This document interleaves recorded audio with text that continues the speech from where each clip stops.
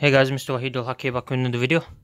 Today I'm going to unboxing the Dove Men and Care rugby rugby ball gift set. I think it's called. Let's have a look here. Oh. Rugby ball wash bag gift set. Dove Men Dove and Care.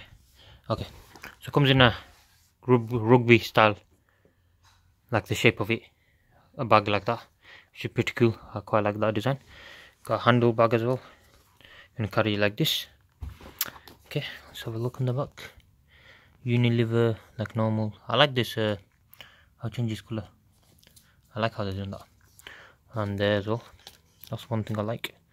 It tells you what products are in it but i'll show you anyway. So just simple zip. Let's go ahead and open it. Okay. So we've got a deodorant. Let's have a look. Oh sorry this? Uh, clean comfort cleaning formula. Body wash and face wash. Uh, sorry about the shakiness by the way. I'm not using my tripod because uh, i was recording i left it in the garage the tripod because uh, we've got the new nissan juke 2019 i'm to be doing some videos on that. So you'll be enjoying that too. I quite like that car. It's quite nice so you'll be seeing that soon. You'll see the actually not soon. Well depends when i when i edit and upload them. I've got like 40 videos to upload. They just sat there in my gallery.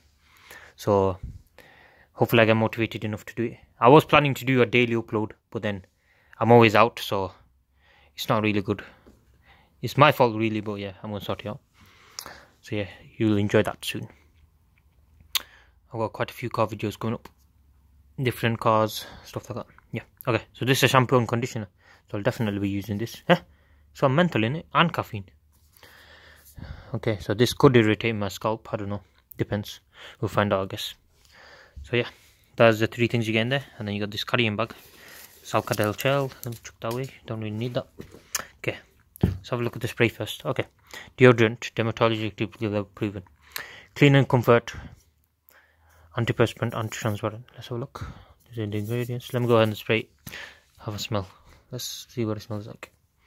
Where should I spray it?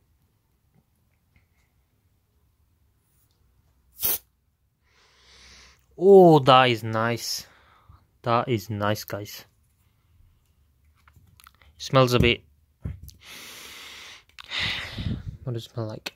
It smells a bit like Tommy Hilfiger. I'm not gonna lie. Or Tommy Hilfiger mixed with dupe. That's how it smells like. So that's really nice. I like that. Let me have a smell of this. So this is a body wash.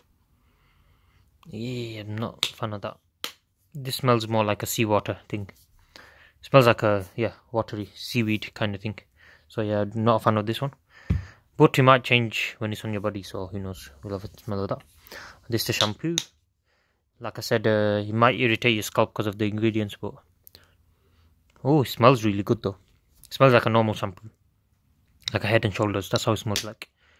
So yeah, the only way I'll know if it's any good is if I try out. So yeah. Anyway guys, thank you guys for watching. Please subscribe to my channel. And I'll see you guys next time. Goodbye.